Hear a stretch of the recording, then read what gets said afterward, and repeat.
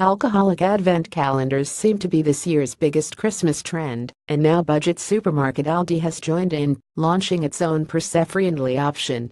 Wine fans will be able to open the door on a new mini bottle of wine every day, with a mix of red, white, rose and fizz on offer, and brands such as JP Chenet and Calvet. All of the wines are from France, except the sparkling which hail from Italy and Spain. Advertisement continue reading below, and like a lot of alcohol advent calendars out there, Aldi's is relatively easy on the wallet.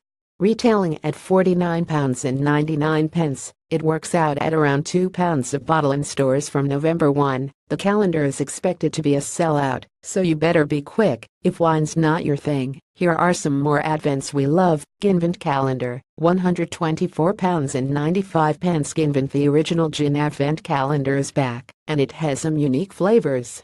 Our pick has to be the Christmas tree flavored gin. Yes, Real Reali Sparkling Wine Advent Calendar, 125 pound VPUP stop behind each door. A 20 cl bottle of sparkling wine is ready for you to drink and enjoy, including Prosecco, Cava, sparkling Pinot Noir and Rose from Italy, Spain, and Australia. Gin and Tonic Advent Calendar, 99 pound VPUPs to further than a single serve of different gins or pre-mixed cans of GT hiding behind each door, the owner of the calendar gets a different interesting tonic to open each day. And don't worry, you're not lacking on the gin front either, the calendar comes with a full-sized bottle.